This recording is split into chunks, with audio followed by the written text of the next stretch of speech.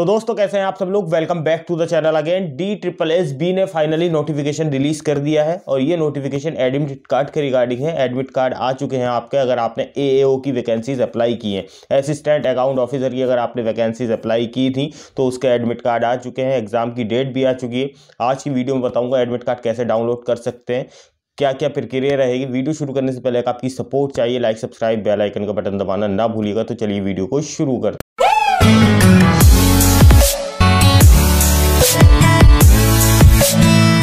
तो दोस्तों, स्क्रीन पर नज़र आ रहा होगा, ये जो एडमिट कार्ड है, इसे कैसे डाउनलोड करना है, आज की वीडियो में बताने जा रहा हूँ मैं आपको। देखिए, D triple S, B, A A, O, admit card आ चुके हैं, हिंदुस्तान टाइम्स की ये रिपोर्ट है, सत्रह घंटे पहले ये रिपोर्ट आई थी, और इसमें देखिए, अकाउंट असिस्टेंट, अकाउंट ऑफिसर की जो वैकेंसीज आपने अप्लाई की थी दो हज़ार तेईस में, उसका नोटिफिकेशन आया है, उन एडमिट कार्ड को कैसे आपको डाउनलोड करना है। Delhi subordinate service selection board ने ये नोटिफिकेशन, ये अपडेट जारी की है, और ये जो है एओ के लिए असिस्टेंट अकाउंट ऑफिसर के लिए। अब इनको देखिए, आपको सिंपल सा D triple S dot tele dot G O V dot in पर जाके अपना एडमिट कार्ड डाउनलोड कर लेना है और कुछ इस तरह का इंटरफेस आपको नज़र आएगा। उसमें अपना रोल नंबर डालना है और अपना डेट ऑफ़ बर्थ आपको डालना है। Date of birth roll number डालेंगे एडमिट कार्ड निकल कर आ जाएगा।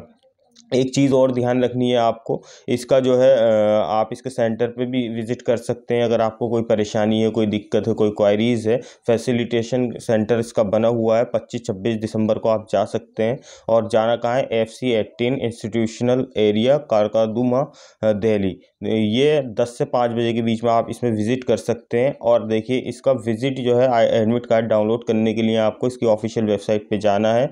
और ऑन द होम पेज पर आपको क्लिक करना है click to generate E admit card पे क्लिक करना है और D triple S B admit card का प्रिंट आपको ले लेना है। वो प्रिंट आपको एग्ज़ाम टाइम में लेकर जाना है और इसके दो शिफ्ट में एग्ज़ाम कंडक्ट किए जाएँगे। और देखिए, सत्ताईस तारीख को इसका एग्ज़ाम कंडक्ट किया जाएगा। नौ से बारह बजे के बीच में फ़र्स्ट शिफ्ट में होगा सेकेंड शिफ्ट में होगा, दो से पाँच बजे के बीच में। किसी सपोर्ट की ज़रूरत पड़ती है, मुझे कॉमेंट बॉक्स में लिख सकते हैं। Thank you very much